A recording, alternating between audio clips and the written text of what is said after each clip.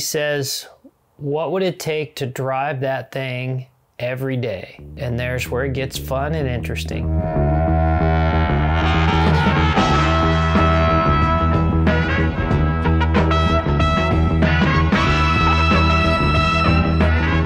This one's kind of an interesting one. The customer has owned the vehicle, and before him, his dad owned the vehicle. So it was in his family. When his dad passed away, he left it to him.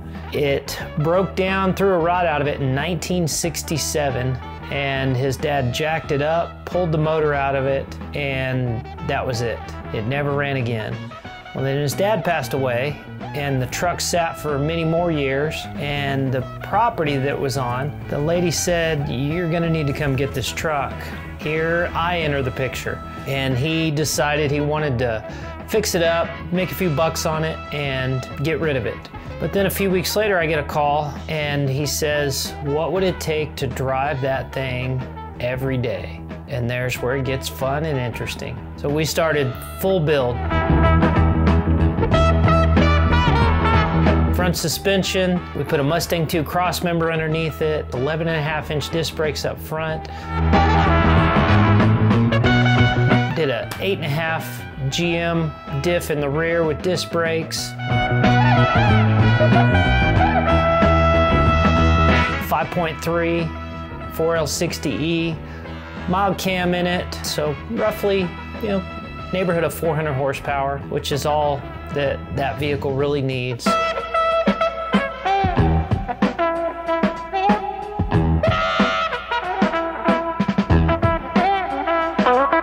Project was moving along great. We were making some progress until 2020. The world changed as we knew it, and also my business changed. I've been in the maintenance and repair business, self employed, running my own shop, and a mobile repair business since 2014. And in 2020, I picked up two huge fleet accounts. It was a blessing, but it put a lot of other stuff off.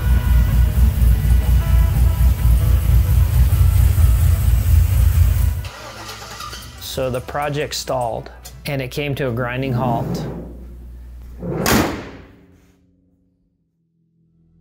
Then 2022 comes around. The fleet customers that I had, they've decided they're going to hire mechanics to work in-house, which I was very happy to turn loose of those.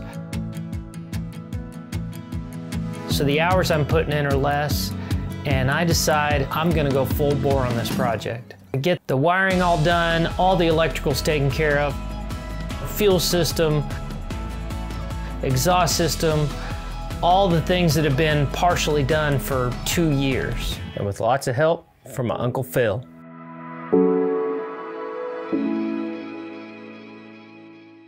So this truck in its heyday would have been likened to a new GMC Sierra LTZ, you know, Denali top of the line model. It was inline six, had a Hydra-Matic, which was from my research, the first year that the trucks were available with an automatic. So four speed cast iron Hydra-Matic, all the different bells and whistles you could think of, which aren't a lot compared to nowadays, but it had nice door panels and it had a decent seat.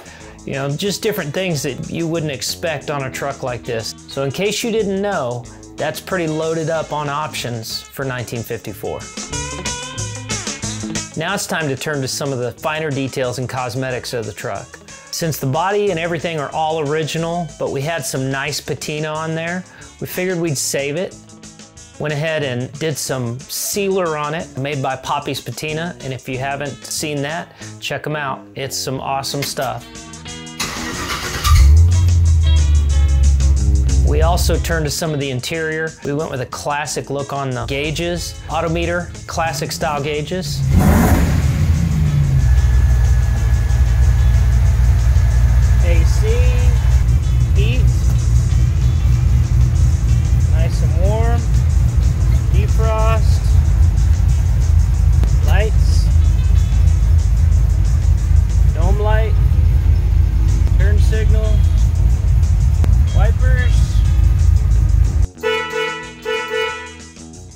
A few of the interior parts were missing or fallen apart, and especially the, the turn signal knob and the shift knobs, they were completely fallen to pieces. I started looking around trying to buy them, don't exist. So I asked one of my boys if he could do something for me, and off of a piece that was about half of the shift knob, he modeled and he 3D printed them, and they look almost original.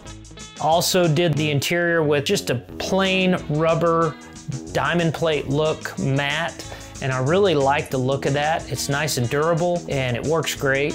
I put down some material that would deaden the sound and keep some of the heat out of the cab. I Wanted to do a quick update before this one wraps up.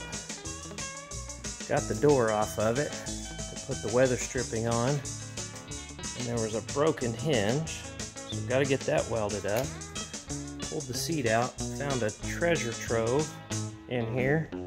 Gotta love old cars. Guy used to run a sign business. And there's 1960s technology for neon signs. Pretty cool. I got the hinge prepped. We'll get this all welded up and go from there. But truck's looking good. Like the door panel. Black, brown. So I really wanted to get this one out and to the customer before Christmas. I figured that'd be a pretty awesome Christmas present. Since he was about nine years old, he hasn't seen this truck move. So it would be pretty phenomenal to be able to drop that off to him. There it is. All finished. Give everything a wipe down. Tomorrow take it out and tune it.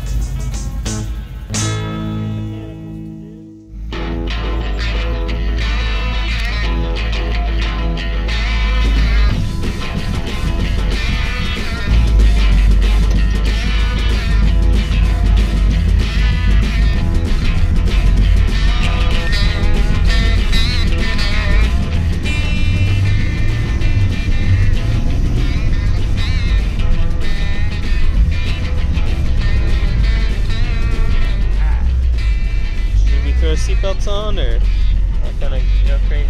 No, those were there just for, for his amusement. Is it required by law? Woo! Boogies. yep, yep. I am pretty happy so far. Everything is working just like she should. Man.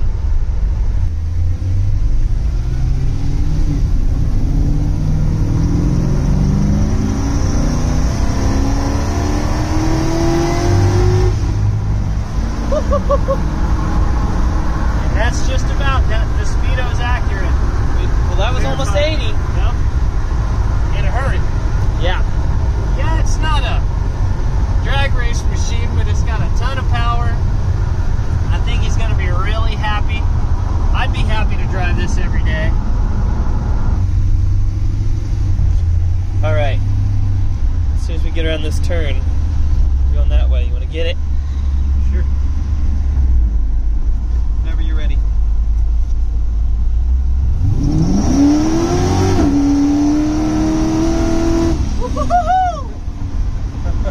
that was laying a patch rubber while it was accelerating pretty hard. Oh man. Yeah. And we'll go up here and turn around and look at the marks real quick. And Yep. come back and get a drone shot. That'll work.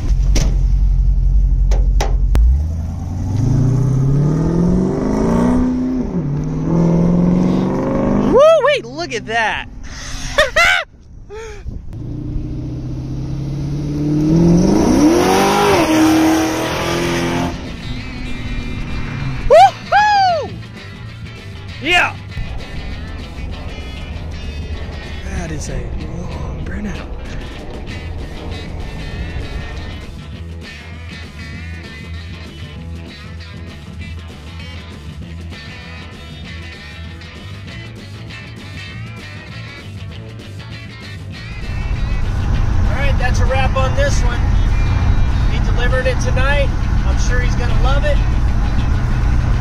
Some new stuff coming up. Got a 72 Monte Carlo doing for a guy.